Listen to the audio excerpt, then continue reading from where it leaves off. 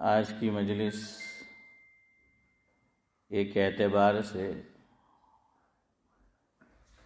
ख़ास मजलिस है। सबसे पहले तो हमारे मजलिस की रौनक और हमारे शेख शेख ज़मन एक ज़माने के बाद हमारे दरमियान तशरीफ़ फरमा है चार हफ़्ते मैं एक दिन गायब होता हूँ, दो दिन हाँ दो दिन। तो फिर मैं चार हफ़्ते को ज़माना क्यों ना कहूँ? हम्म? हाँ हमारा हनीफ भाई भी मौजूद है, माशाल्लाह। तो शेख ज़मन के लिए हैं। देखो, आप इतना अरसा हमारे साथ रहे हैं, कहते हैं कि खरबूजे को देखकर हाँ तो भाई आपको भी अब कुछ गुजराती तो आ जानी चाहिए ना इसमें। भाई हाँ આતી आती है આવડે છે આવડે.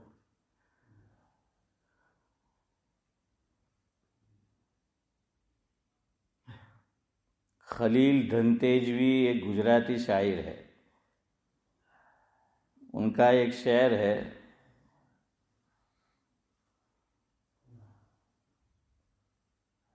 જેને ગુજરાતી આવડતી નથી જેને ગુજરાતી આવડતી નથી એ કંઈ પણ હોય ગુજરાતી નથી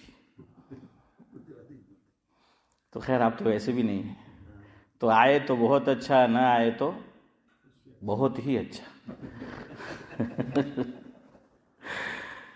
तो आपके लिए हैं કે તમારી ગેરહાજરી એટલે ફીલ તમારી ગેરહાજરી એટલે ફીલ ને તમારી હાજરી એટલે મહેફિલ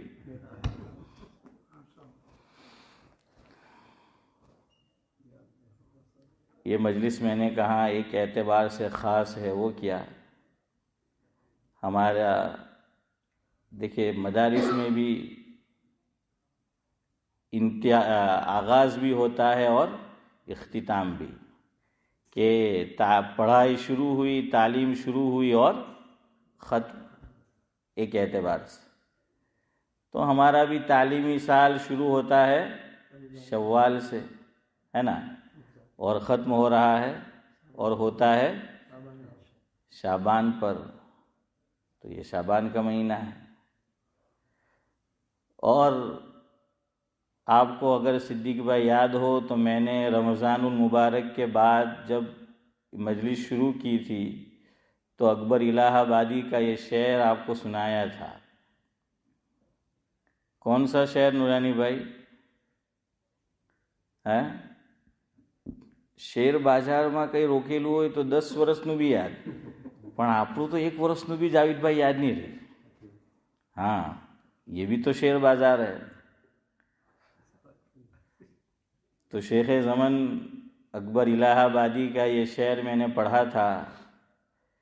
चलिए अबजद से रब्बी यसिर वला तो असर कह कर अब शायद आपके जहन में आया होगा।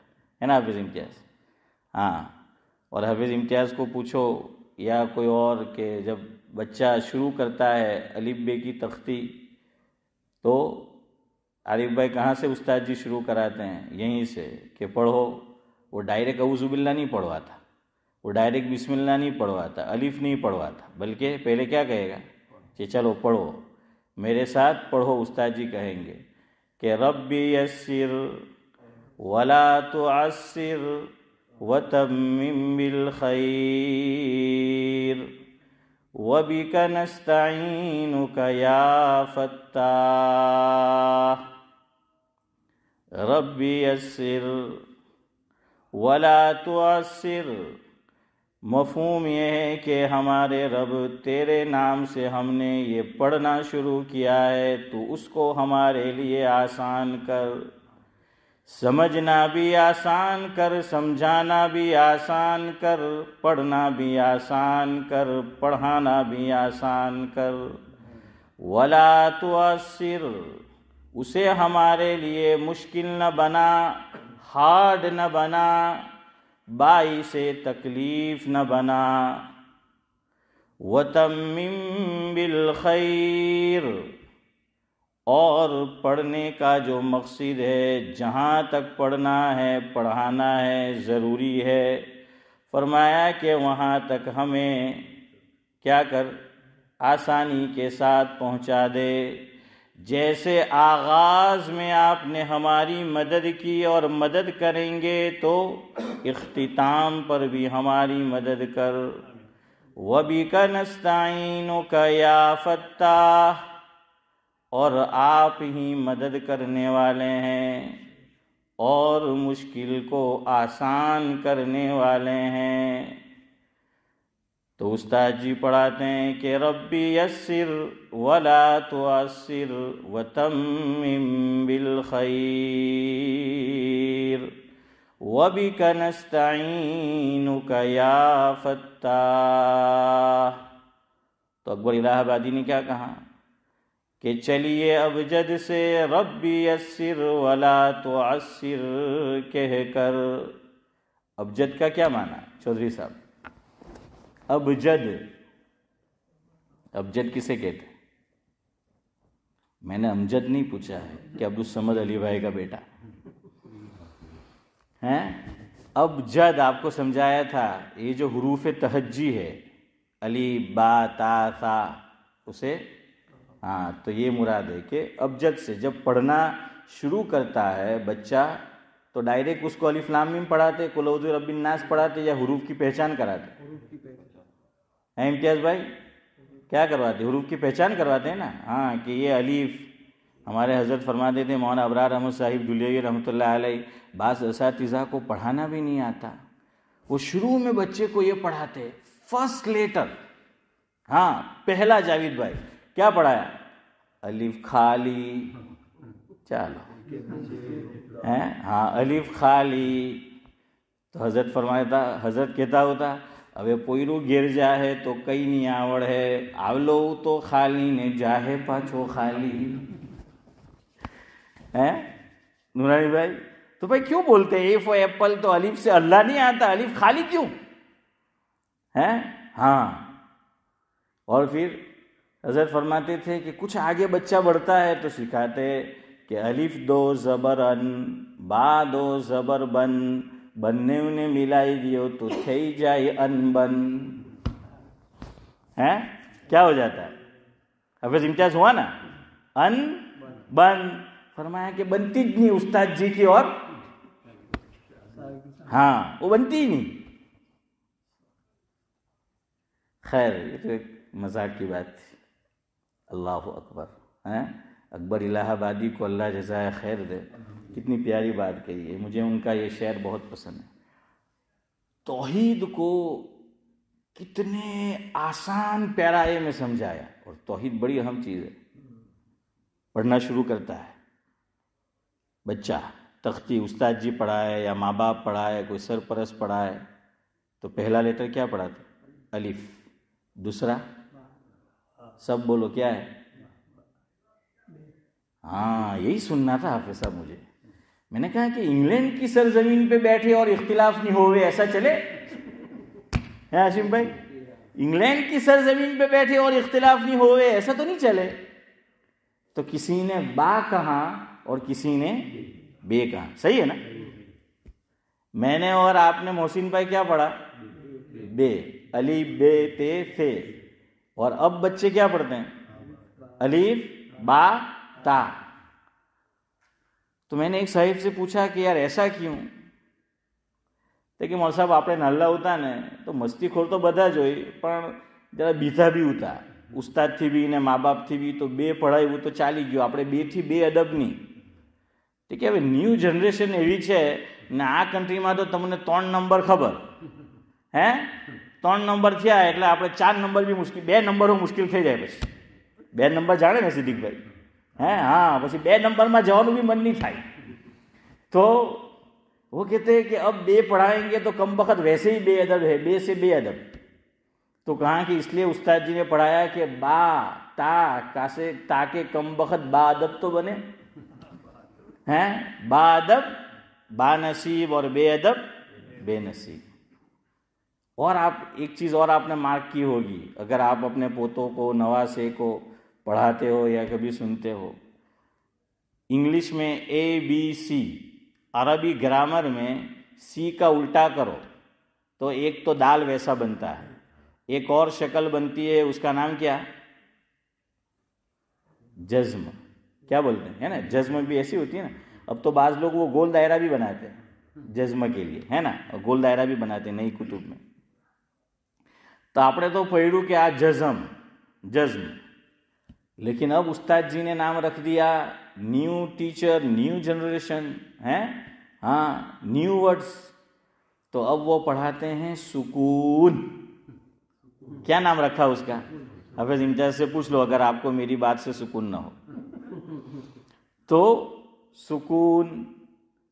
तो मैंने पूछा एक, मेरे दोस्त से कि यार, इसकी क्या वजह होगी?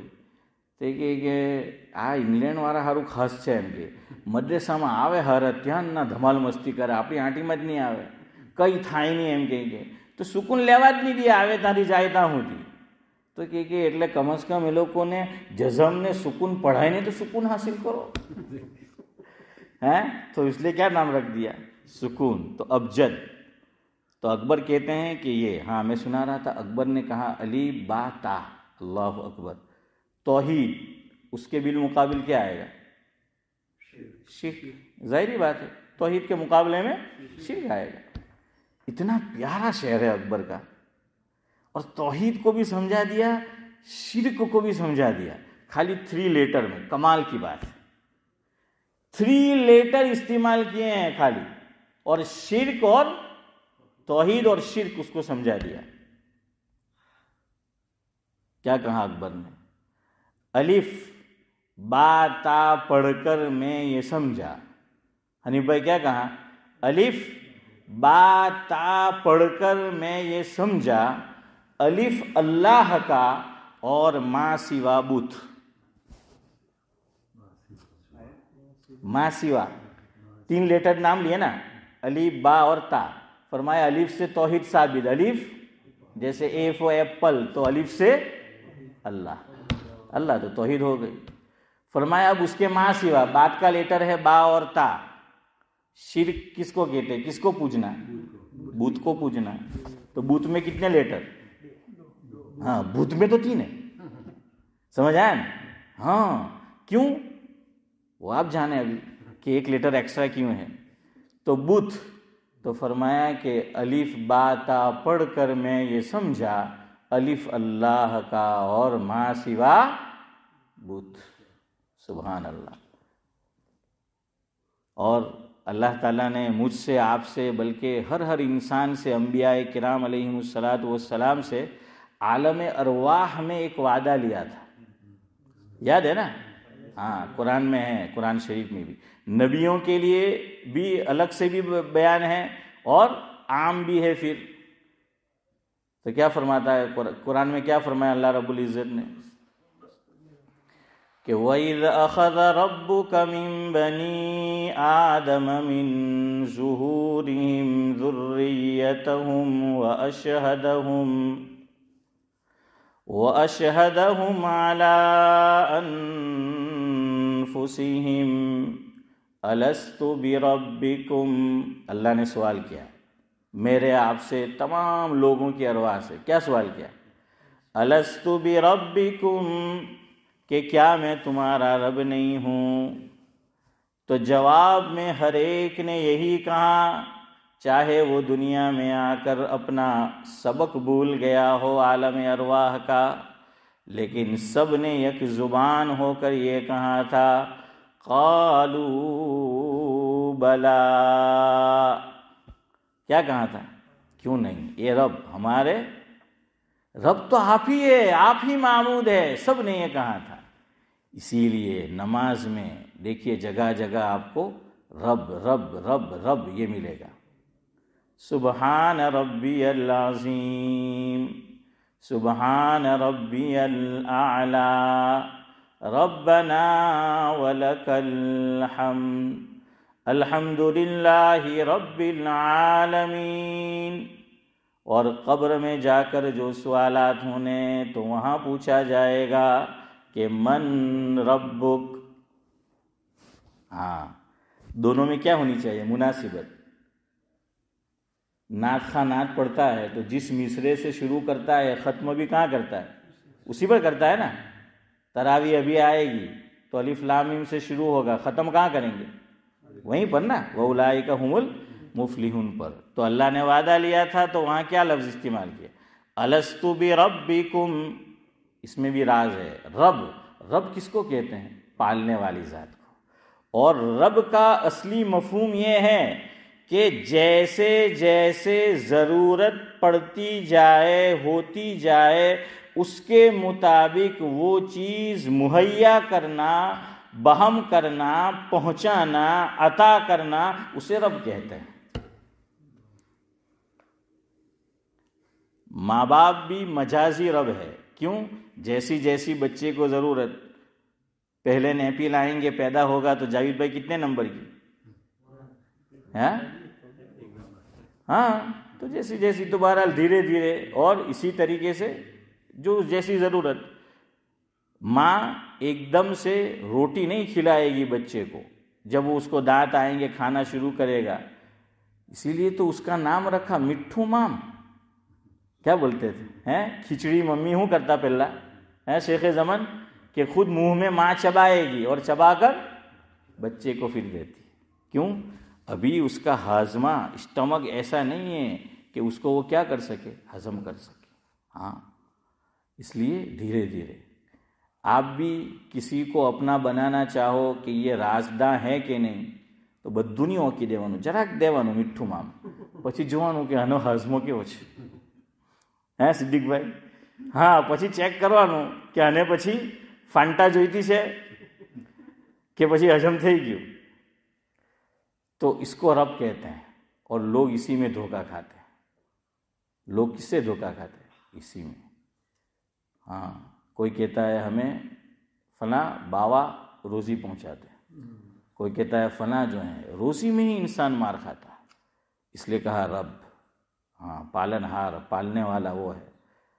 तो क्या पूछा था? अलस्तु भी रब्बी को और वहाँ मन रब्बुक। तो अकबर ने कहा, बहुत सादा और प्यारा शहर है।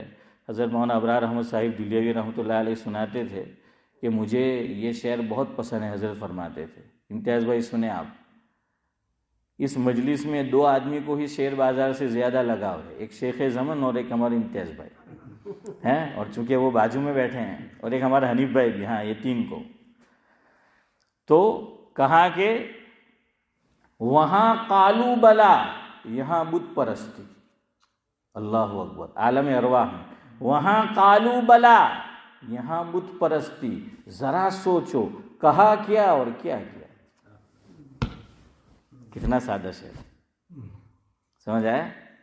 हाँ तो इसलिए कहा कि चलिए अब जद से रब्बी यसिर वाला तो अस्सिर कहकर, तब तो उम्मीद तम्मत बिल खैर हो सकती है। तो आज हमारी अल्हम्दुलिल्लाह, है, अल्लाह के फजल से, आप लोगों की शिरकत से, और जो माएँ बहनें घरों पर घरों पर सुनती हैं, उनकी भी शिरकत रहती है। और अल्लाह के घर में बैठा हूँ, मर्दों से ज़्यादा औरतें शौक़ से सुनती हैं। और ये पता मुझे कब चलता है? जब मैं बीमार हूँ, गैर हाजिर हूँ तो वो अपने घर के मर्द के साथ कहलवाते हैं। और उसमें भी बूढ़ी औरतें, ख़ास तौर से, जो घरों में हैं। हाँ हमारे फारूक अली भाई, दो फारूक अली भाई। एक जो हसन भाई होते थे, आज नहीं है उनके भाई। वो क्या नाम है? राइट लैंड रोड हाँ उनकी वालिदा अल्लाह मरहुमा को गरी के रहमत करे। तो वो फारूक भाई फारूक भाई मैंने कहता होता, पूछ लेते तुम्हें, हैं? હા. તમે જોયું તો, હા, આજે તો આરીફભાઈ કહી દેવાનું. એ તો શું છે, અમુક લોકોને અંદરમાં થયા કરે. તો બહુ સ્ટાઇલથી પૂછે પછી ફારૂકભાઈને. ને કરે ડાયરેક્ટ જ પૂછી લો મળસાભાઈ કે હે? હા. તો તે કે મળસાબ તમે છુટ્ટી પર જાય ને, તો પછી મારી મમ્મી અમારું બહુ માથું ખાય એમ કે ને પૂછે મોરસાબ આવ્યા કે નહીં? મોરસાબ આવ્યા કે નહીં? એમ કે તાલીમ કેમ નહીં આવતી? એમ કે તો કે એમને સમજ જ નહીં પડે. એમ કે તો મેં કે હવે મને સમજ નહીં પડતી કે મારે જવું જોઈએ કે खैर बहरहाल, अल्हम्दुलिल्लाह। आप सबका मैं शुक्रिया भी अदा करता हूँ। हमारे गाँव में एक शायर हुए हैं। मौलाना भी थे, आलिम दीन भी थे, शायर हशीम भाई जानते हो। हज़रत मौलाना इब्राहिम साहब डाया, जानते हो? हाँ इस मुल्क में भी तशरीफ़ लाए थे, फिर सिंगापुर तशरीफ़ ले गए। उनका एक शेर है। उसमें मैंने एक शेर का इजाफा किया है। गोया के मखमल में टाट है।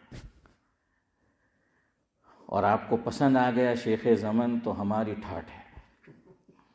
वो कहते हैं, इम्तियाज़ भाई, हज़रत मौलाना मरहूम,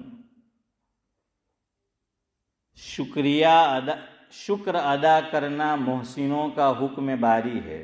मोहसिन भाई, शुक्र अदा करना मोहसिनों का हुक्म बारी है। खुशामद नहीं मतलूब, खुशामद वजह खारी है। क्या फरमाया? हाँ कि ये तो अल्लाह का हुक्म है कि मोहसिन का क्या अदा करो?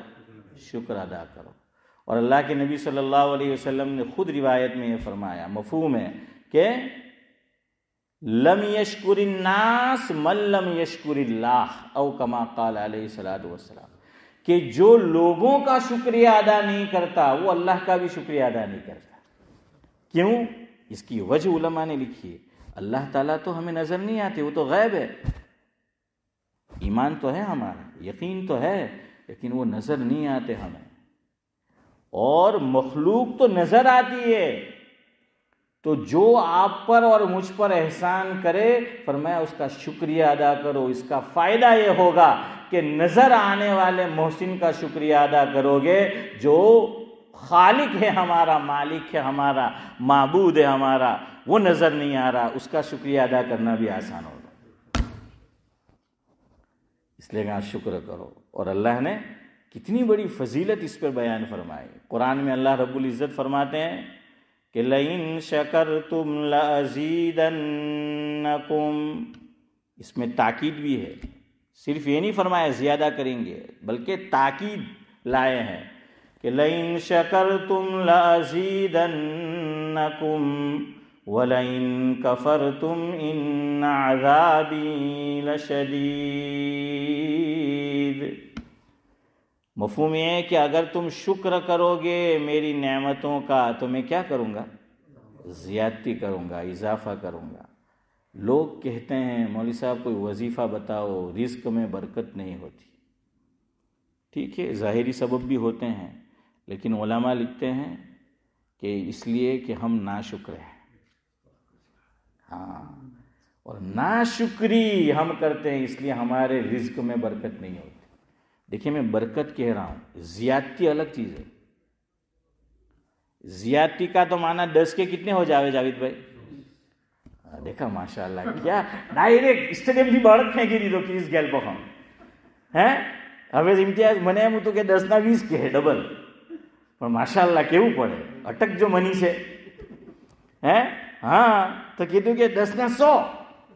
हाँ अच्छा चलो, अल्लाह का, बिल्कुल, आप सही भी है, कहते बार से, हैं? इसमें क्या शर्मा है? क्या, बोलो, आप जितना भी बोल सको। अल्लाह के से मांगना है? उसके पास तो कुछ खजाने में कमी है नहीं। क्या कह रहा था मैं? हाँ कि लोग, बरकत और ज्यादती वो अलग है। बरकत का माना यह है, इनकम कम है। आमदनी लिमिटेड है, लेकिन अल्लाह ताला फजूल खर्चियों से बचा लेता है। नंबर एक। नंबर दो, जो चीज़ हमने अपने इस्तेमाल के लिए ख़रीदी है, आम लोग ख़रीदते हैं जो नाशुक्र हैं, उनको साल, दो साल में बदलनी पड़ती है, इस्माइल भाई, और ये चीज़ हमारी साल हर साल चलती रहती है। हज़रत जी मौलाना इलियास साहिब रहमतुल्लाह अलैह, चौधरी साहब। उनके मलफूजात छपे हुए हैं। एक तो मौलाना अबुल हसन अली मियाँ नदवी ने, और दूसरे मौलाना मोहम्मद मंजूर साहिब नौमानी नवर मरकदो हज़रत के पास एक खटिया थी, पलंग जिसको बोलते हैं। तो वो उनके दादे के जम, दादा के ज़माने से चली आ रही थी, और शायद उससे भी पहले। हज़रत ने फरमाया, मैं इस्तेमाल कर रहा हूँ, अब भी मज़बूत है, चल रही है। फरमाया शायद मेरी औलाद भी इस्तेमाल करना चाहे तो करेगी इसी का नाम बरकत है सेहत सलामत रहती है पैसा नहीं लगता આપ કહેંગે મોલ સાહેબ હવે દવાવાળું તો એનએચએસ ફ્રી હવે યુસી આવતું છે ખબર પડે તમને હે હા nine pound sixty five pence એવું કંઈ દેવાનું હોય ને હમ. अल्लाह ताला फजूल खर्चियों से, खामखा के कर्जों से बचाता है। तो कम इनकम और आमदनी में भी आदमी का क्या हो जाता है? गुजारा जो है हो जाता है। ये बरकत है। बहरहाल,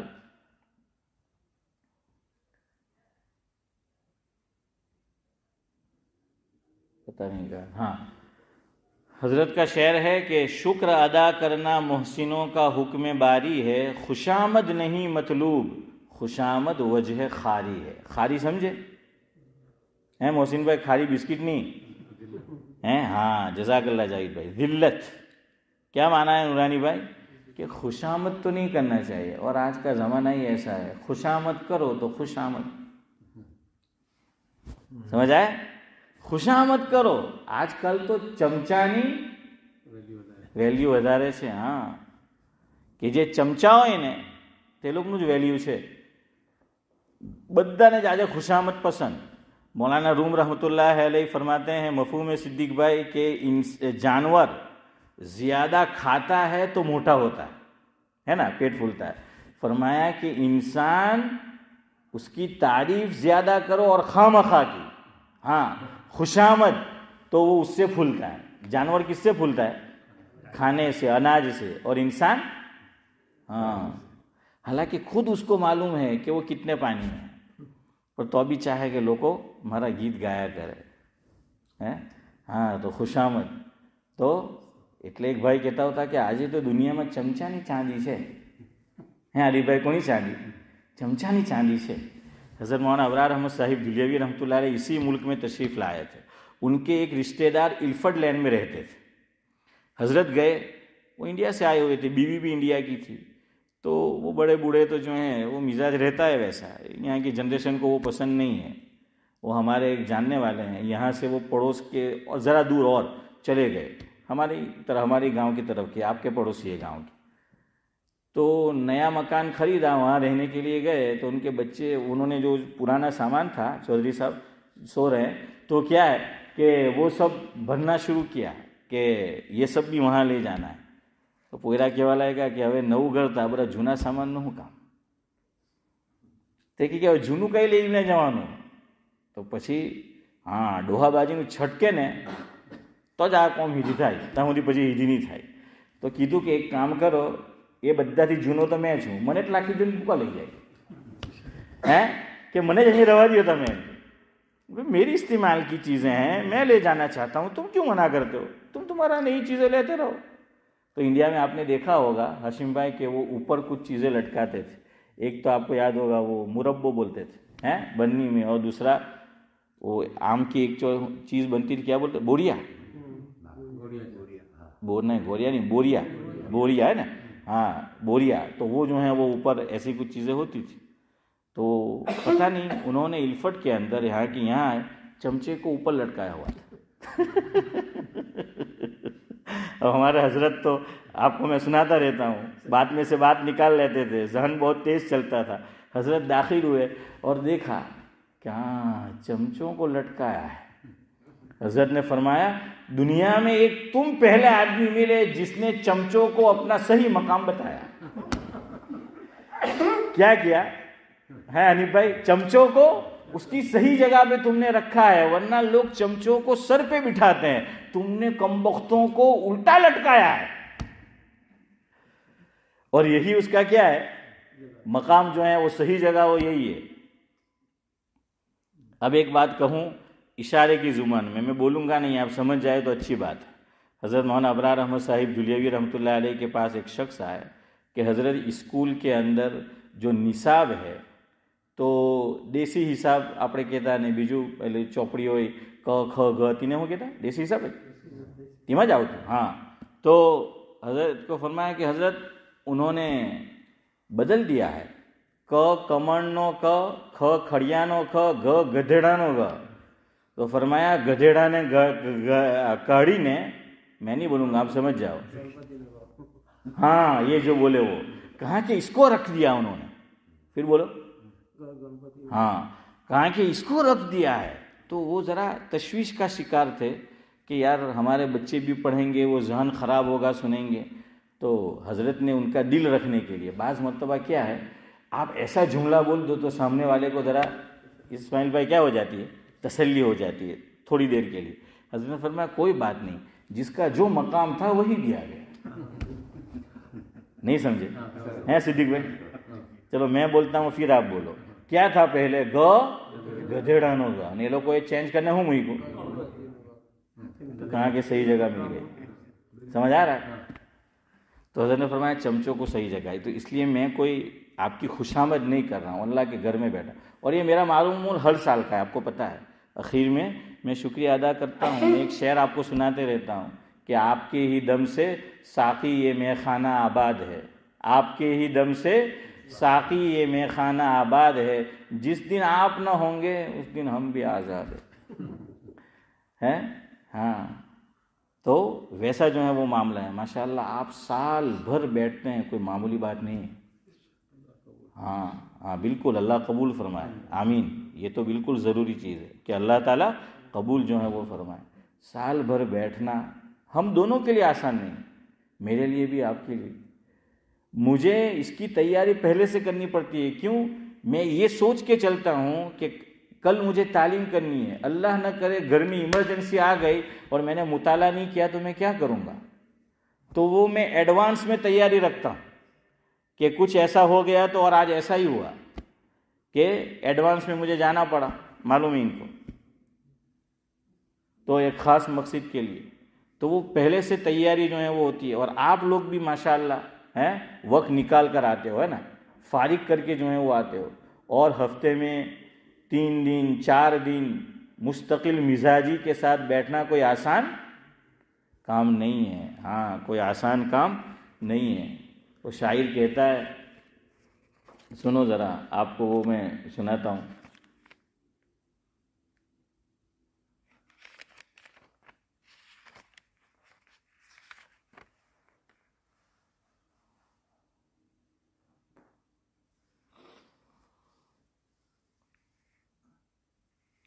थक गए हो तो थकन छोड़कर जा सकते हो। थक गए हो तो थकन छोड़कर जा सकते हो।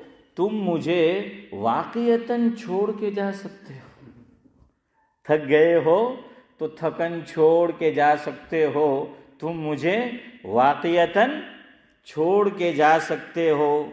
हम दरख्तों को कहाँ आता है हिजरत करना। मेरी मिसाल दरख्त की है यहाँ पर।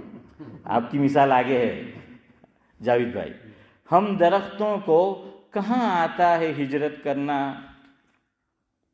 तुम परिंदे हो, वतन छोड़ के जा सकते हो। है? थक गए हो तो थकन छोड़ के जा सकते हो। तुम मुझे वाकयतन छोड़ के जा सकते हो। हम तो हम दरख्तों को कहाँ आता है हिजरत करना तुम तो परिंदे हो वतन छोड़ के जा सकते हो हाँ જાવીરભાઈ અમારે કહેતા કે સાહેબ મારો તો જોબ છે તો જોબ ચલાઈ ગઈ સિદ્દીકભાઈ બી કહે કે આપણો જોબ છે સિદ્દીકભાઈ ગુલ્લી વચમાં જ મારે મંડેના દેખાય ને બુધવારના દેખાય એટલે फाटली नोट वच मारे दिखाए हैं हाँ तो अब वो दरमियान से आप तो ये मानते रहते हैं। अगर मैं कसम खाकर कहूँ तो मैं अकेला ऐसा बंदा होगा कि जब जब मजलिस हुई मैं हाजिर रहा। क्योंकि मेरे बगैर तो होगी नहीं। वरना यहाँ इम्तियाज़ भाई, हर आदमी ऐसा है कि जो कभी न कभी क्या रहा? फिर हाजिर। आप परिंदे हैं। आपको कौन पूछता है? तो इसलिए हम दरख्तों को कहाँ आता है हिजरत करना? तुम तो परिंदे हो, छोड़ के जा सकते हो। ऐसे आ सकते हो जैसे कोई खुशबू आए। ऐसे आ सकते हो जैसे कोई खुशबू आए और जाने को घुटन छोड़ के जा सकते हो। और जाने को घुटन छोड़ के जा सकते हो। आप सब जो बैठे हैं, माशाल्लाह, आप तो हर मौसम में बैठते हैं। वरना वो परिंदे हमारे यहाँ भी क्या है, बाहर मुल्कों से भी आते हैं, पता है ना, इंडिया में, और फिर चले जाते हैं। तो हमारी मजलिस में भी कुछ लोग खाली समर के मेहमान होते हैं। हैं? हाँ वो सबर में बैठेंगे। फिर नहीं बैठेंगे ठीक है। मजबूरी होती है ये होती है लेकिन आप सब माशाल्लाह जो है वो बैठते हैं। तो मैं सोचता हूँ कि वो ऐसा ही हाल है कुछ लोगों का। वो कहने वाले ने कहा है चले तो थे दोस्तों का काफला लेकर। इम्तियाज़ भाई चले तो थे दोस्तों का काफला लेकर कुछ जुदा हो गए कुछ खुदा हो गए। समझ आया खुदा किसको बोलते हैं? वो खुदा है गलत मत समझना ये शुआरा इस्तेमाल कर यानी आदमी अपने आप को समझे कि मैं ही कुछ हूँ आई एम समथिंग ओहदा मिल गया है? पावर आ गया कुर्सी मिल गई माल आ गया जायदाद आ गई तो आदमी उसको भी खुदा बोलते हैं कि फिर वो किसी को गर्दानता नहीं है हकीर समझता है और समझता है कि मैं जे के एज राइट। मैं जे करूँ एज राइट। इस पर मुझे याद आया हकीमुल इस्लाम हज़रत मौलाना कारी मोहम्मद तय्यब साहिब, सबक मोहतमी मुमुल मदारिस दारुल देवबंद, हज़रत के मवाइज़ में है खुतबात में जिसका मफहूम है, मैं इंशाल्लाह नौ बजे तक ख़त्म करूँगा। और कल से छुट्टी ना मेरी? बाकी है? अच्छा एक वीक बाकी है हाँ। तो फरमाया कि एक बुज़ुर्ग की खिदमत में गालिबन शेख अब्दुल कादिर जिलानी का नाम लिया। या किसी बुज़ुर्ग की खिदमत में एक साहिब लंबा अरसा रहे। इस नीयत से आए थे कि तस्किया करें। जाने लगे तो फरमाया, हज़रत, यहाँ मौजूद था, कोई गलती होती थी तो आप इसलाह कर देते थे, अब आपको छोड़ के जा रहा हूँ। पहले तो ऐसी सफ़र की सहूलियात भी मैसर नहीं थी। कहाँ कोई मुझे नसीहत कर दे? तो दो नसीहत की उन्होंने। फरमाया, एक नबूवत का दावा मत करना और दूसरा खुदाई का दावा मत करना। बस दो नसीहत ये खुदाई। फरमाया एक खुदाई का दावा मत करना और दूसरा, नबूवत का दावा मत करना। तो वो सोच में पड़ गया कि हज़रत, इतना अरसा, इतना ज़माना आपके साथ रहा हूँ और मेरे बारे में आपका ये गुमान है कि मैं यहाँ से निकलकर खुदाई का दावा कर दूँगा। मैं यहाँ से निकलकर रिसालत और नबूवत का दावा कर दूँगा, नूरानी भाई।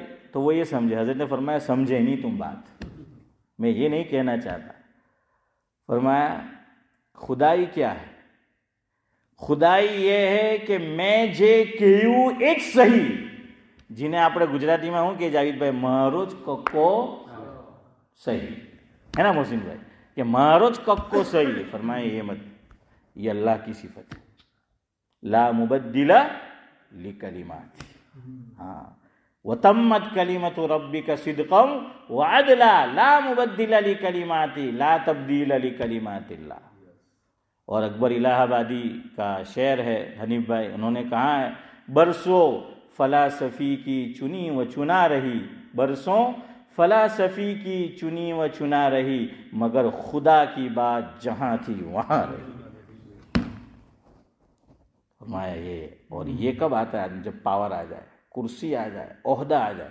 ये कुर्सी इंसान के दिमाग में फिरौनियत भरती है, याद रखना। इल्ला माशा अल्लाह जिसको बचाए।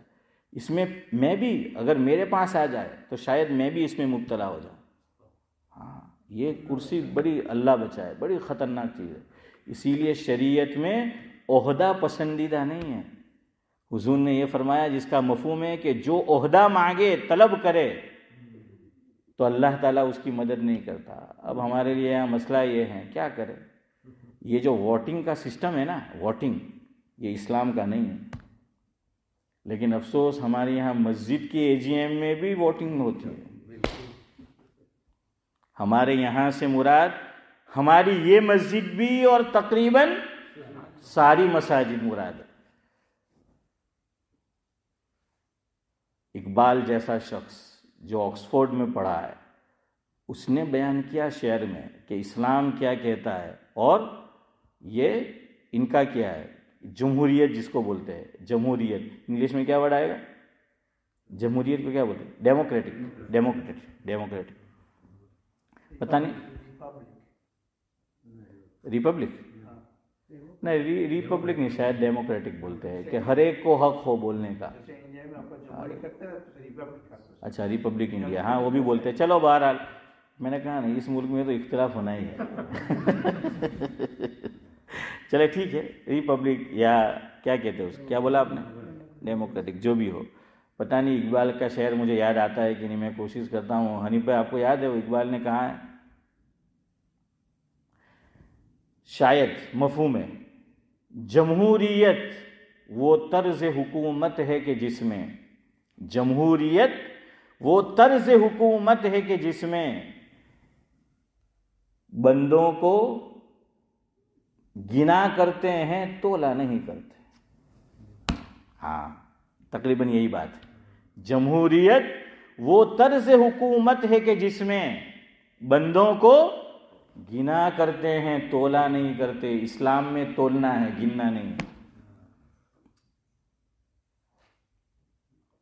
आप कहेंगे, फिर कौन सा निज़ाम लाया जाए? तो है, आप पूछो तो आपको बताया जाएगा कि किस तरह करना है। हुजूर अपने बाद एक ख़ास इशारा करके गए। सिद्दीक अकबर ने क्या किया? उमर फ़ारूक ने जो है वो क्या किया? वो सब है। कोशिश करो, मस्जिद में जहाँ जहाँ हमारी पहुँच है। इस्लामी हुकूमत तो अब तकरीबन कोई नहीं है। दुनिया में मुस्लिम हुकूमतें तो है इम्तियाज़ भाई।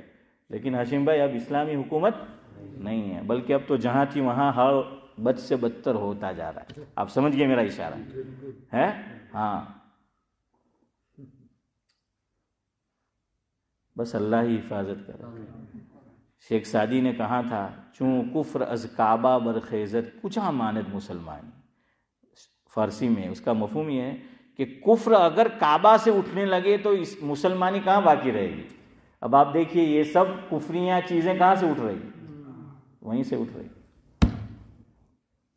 ये निज़ाम तो वो निज़ाम है अब हमारे यहाँ वही निज़ाम चलता है क्या करें તમે કહે કે મોલ સાહેબ વીસ વર્ષ સુધી ચૂપ રહ્યા ને આજે બોલે હા તમારો હક છે તમે કહી શકે ભાઈ બાત આતી હે તો કહી દેતે ને આજે હો બોલ્યો તો બી મને પૂરી ઉમ્મીદ છે વીસ વર્ષ સુધી તેવું જ રહેવાનું છે આગલા વીસ વર્ષ સુધી બી हाँ बदलाવાનું ही मत क्यों? शौक ही नहीं है। ही नहीं। क्या कह रहा था मैं? बात कहाँ से चली? इकबाल का शहर इकबाल का तो सुना दिया मैंने आपको। जमहूरियत हो तर्ज हुकूम हाँ। बहरहाल हाँ खुदा खुदा यहाँ से मैंने कहा ना वो बुज़ुर्ग ने क्या कहा? दो दावे मत करना। और दूसरा कि मेरे तरीके पर ही चलो। इसी तरह, ये तो नबूवत का दावा अल्लाह ने हुजूर के लिए कहा है कि किसकी इतवा करो?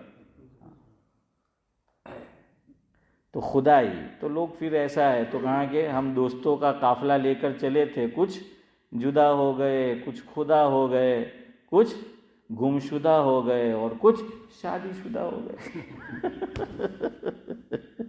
है? तो खुदा जो है वो समझते, हमारी मजलिस में भी ऐसा ही है, कुछ लोग आए, बैठे और जुदा हो गए। कुछ? गमशुदा हो गए, वाकई और कुछ? नई नई शादी हुई तो फिर वहाँ हाजिरी लगाने लगे, यहाँ हाजिरी छोड़ दी। और कुछ खुदा भी हो गए। हाँ कुछ खुदा भी हो गए। अहमद फराज की की रुबाई है। या हो सकता है रुबाई ना हो तो नज़म हो, पूरी मुझे नहीं मालूम। तो वो मैं आपको सुनाता हूँ, उन्होंने खुदाई, खुदा कहा है? वो कहते हैं इससे पहले के बेवफा हो जाए, इससे पहले के बेवफा हो जाए, क्यों ना ये दोस्त हम जुदा हो जाए? क्यों ना दोस्त हम जुदा हो जाए? बंदगी हमने छोड़ दी फराज। बंदगी हमने छोड़ दी फराज। क्या करे जब लोग खुदा हो जाए? अब लोग खुदा हो गए। और हमारे एक बुज़ुर्ग पाकिस्तान में गुजरे हैं जिन्होंने मिस्र से पढ़ा है, मरहूम हो गए। मौलाना अब्दुलसमद सारिम अजहरी अलहमा पड़ोस में सेंटर में जो कुतुब खाना था, याद है आपको? याद है इसमाइल भाई? वो था थोड़ी सी कुतुब थी। उसमें एक किताब थी, असमाउल हुसना। तो उसमें उन्होंने लिखा है कि अच्छा हुआ कि अल्लाह ताला ने मौत को पैदा किया, वरना ये आज का इंसान खुदा को खुदा नहीं मानता। लेकिन मजबूरी में मानता है कि मरना है उसको।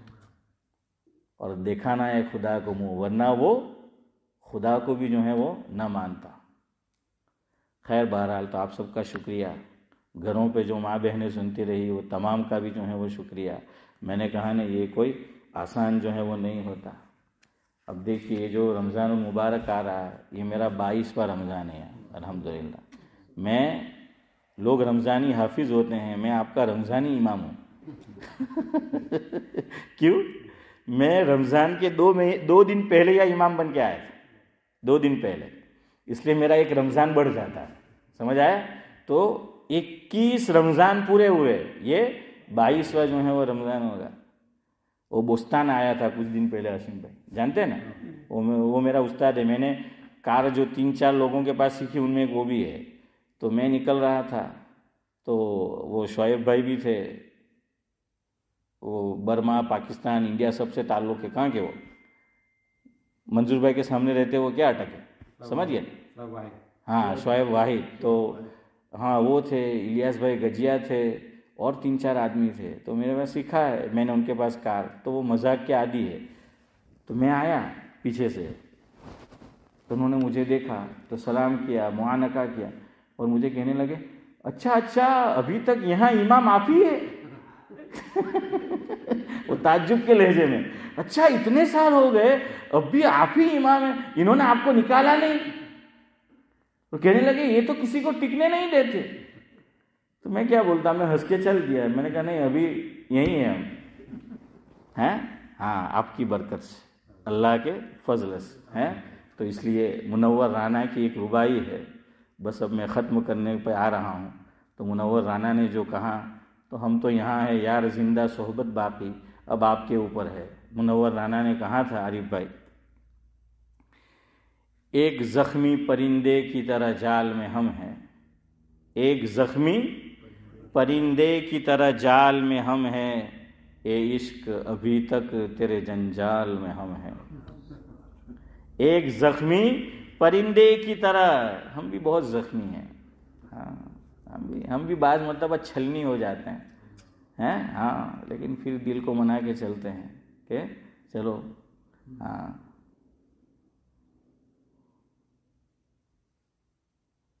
शायर कहता है, हमारा बसेरा उस बस्ती में है, मोमिन, जहाँ हम बरसों रहे, मगर कोई हमारा मैंने तो नहीं कहा। तो खैर, बहरहाल, जो है, वैसी चीज़ है तो एक ज़ख्मी परिंदे की तरह जाल में हम हैं, ए इश्क अभी तक तेरे जंजाल में हम हैं। अब आपकी मर्ज़ी संभाले, न संभाले। अब आपकी मर्ज़ी संभाले, न संभाले। खुशबू की तरह आपके रूमाल में हम हैं। खुशबू की तरह हाँ वो खुशबू आप रूमाल में रख दो, हैं? शेख जमन, जावेद भाई तो रहती है ना देर तक। तो कहाँ के खुशबू की तरह आपके रूमाल में हम हैं, बहरहाल।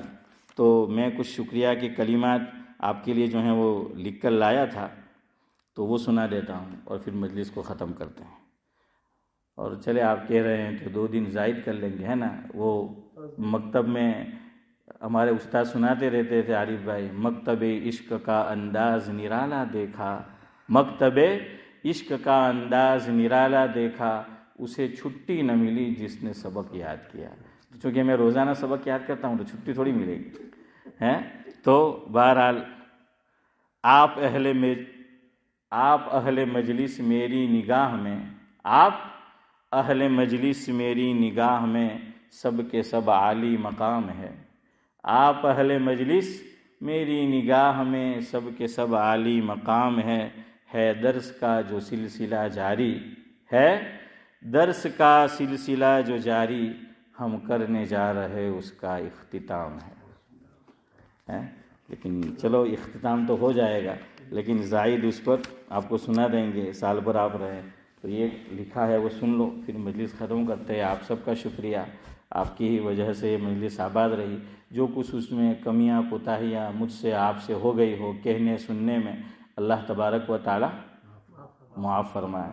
और मैंने आपको कुछ कह दिया हो, आखिर में इंसान हूँ, हैं? इंसान मात्रा भूलने पात्र। तो वो हो जाता है, इंसान है, गलती तो हो ही जो है, वो जाती है। हाँ।